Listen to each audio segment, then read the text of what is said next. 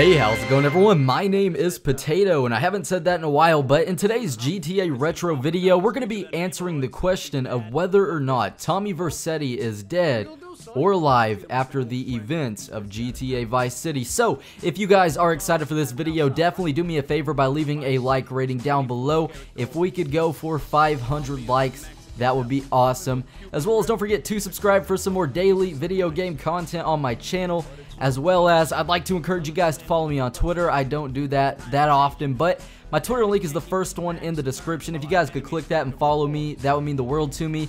On Twitter, you guys can be involved in exclusive giveaways, talk to me about ideas that you have and different things like that. So be sure to do that, but with that said, now the way let's go ahead and get started with the video. So, a question that I get a lot on the channel or a question that I get asked is, Tommy Vercetti dead? Or is he alive? And hopefully I'm going to answer that to the best of my abilities abilities today. So basically, during the events or at the beginning of GTA Vice City, of course Tommy Vercetti is the protagonist of that game.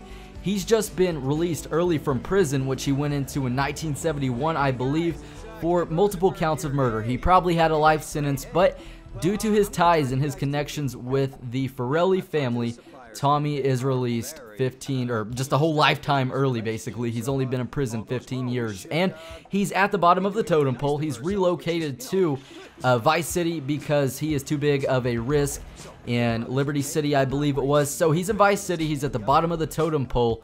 And throughout the game and at the end of the game, he ends up becoming the head honcho in Vice City. He wipes out the Forelli family that kind of got him where he was and he's just the head honcho. He owns the city pretty much with his gang. Now, that's all we hear from Tommy Vercetti up until San Andreas. And take into uh, or take notice of the date that Vice City takes place in. That's 1986 and San Andreas takes place in 1992. Now, at the beginning of Vice City, we're going to backtrack again for a moment. Tommy Vercetti is friends with a, I guess you could say a corrupt lawyer if you guys have ever seen Breaking Bad. He's friends with kind of the Saul Goodman, not not as good, but the Saul Goodman of GTA, and this man's name is Ken Rosenberg. He's a lawyer, Tommy's friends with him, and in the introduction disc or DVD for San Andreas, we see Ken Rosenberg in here, and he's trying to actually make a call to Tommy Vercetti, and he's been actually sent to San Andreas to go to rehab due to his cocaine addiction and his just really bad addiction to drugs overall. And he's out of rehab, and he's seen at a payphone trying to make a call to Tommy Vercetti. We can't hear the voice on the other side, but what's going on is we can imply that due to Ken Rosenberg's dialogue, he answer he calls, he says, "Hey, I'm looking to talk to Tommy Vercetti." We can only guess that this is maybe Tommy's receptionist and he's saying that or she's saying that Tommy's not available, Tommy doesn't want to talk to him, etc. Ken Rosenberg goes on to say that he made Tommy into what he is today because Ken Rosenberg hooked Tommy up with all these guys and these bigger names to kind of actually get him where he was. And Ken Rosenberg, in a fit of rage, just throws the phone down and walks away. And we don't hear Tommy's voice invite or in San Andreas, but of course he is mentioned. Now, in one of the final missions for San Andreas, there is a mission called the meat business and CJ goes into this meat house or this slaughterhouse and inside a freezer is Ken Rosenberg he's trapped and when CJ actually releases Ken Rosenberg or opens the door to let him out of this freezer Ken Rosenberg goes on to say this is so exciting Tommy it's like old times, as if he's talking to an imaginary friend.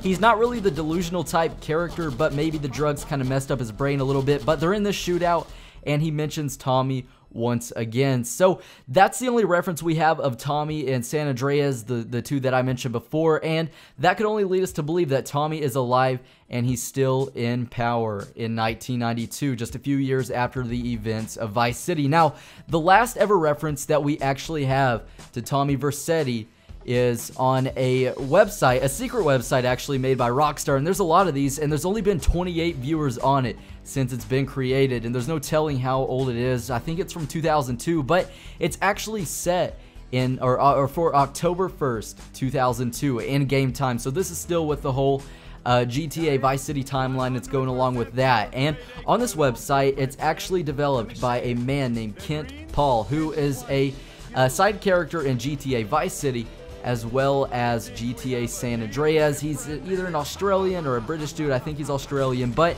he's up there. He's friends with Tommy. He's friends with Ken, CJ, Mad Dog, OG Loken, all these just big names in the GTA series. And on this website somewhere, there is a comment from him stating that Tommy is alive and he's still in power. So in 1951, that would mean that he would be I think 51 years old. You guys can do the math there. I may be a little bit off, but somewhere around there. And up until this point, this is the last reference that we've ever gotten to Tommy Vercetti in the GTA series, aside from an Easter egg in GTA 4, where on a wall, graffitied is all the names of the past GTA protagonists, and it says RIP Tommy, you are my hero, RIP CJ, Claude, etc. And Rockstar has actually come out on an AMA and said that this is just a joke to uh, or for the fans of the series. So, nothing too special. That means nothing. The last time we've ever gotten any sort of insight on Tommy Vercetti was in 2002 and now in the year 2015, the year that we're in,